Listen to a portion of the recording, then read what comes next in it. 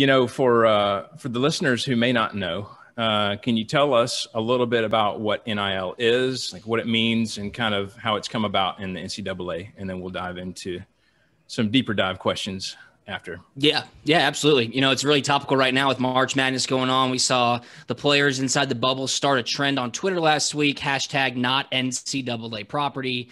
Um, and NIL is the discussion around name, image, and likeness of student athletes. And as the rules have been for a long time and as they currently are, if you're a student athlete, you cannot profit off your name, image, and likeness. It's a violation of the NCAA's code of amateurism. Um, if you're a Georgia fan, AJ Green got in trouble for that back in 2010 when he allegedly yep. had signed some jerseys and sold them mm-hmm. for some money. Uh, Coach Richt and the university suspended him for four games before the NCAA even finished their investigation. You always see this come up when a player uh, signs some things, makes some money off some name, image, and likeness.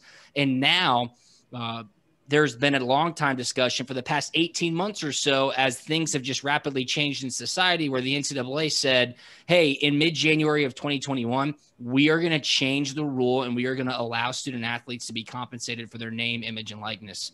Um, in typical NCAA fashion, when that time came to make the decision, they kicked the can down the road. They punted on the issue. Now, granted, 2020 was a wild year. I don't think anybody saw COVID happening, the pandemic. Things certainly got pushed back. Um, but now more than ever, those kind of inequities when it comes to name, image, and likeness and how student athletes cannot make money off of that has really been pushed to the forefront.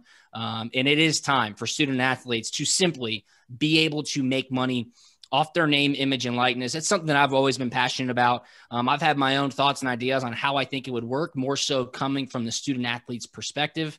Uh, as you mentioned, I, I, run my own business called Fourth Down Consulting, and I was doing some consulting for a company called Icon Source. The founder and CEO, Chase Garrett, is an extremely sharp guy. He ran Red Bull's athlete marketing program for seven years, well versed in sports marketing, knows how to leverage athletes, knows how to create deals and endorsements for them.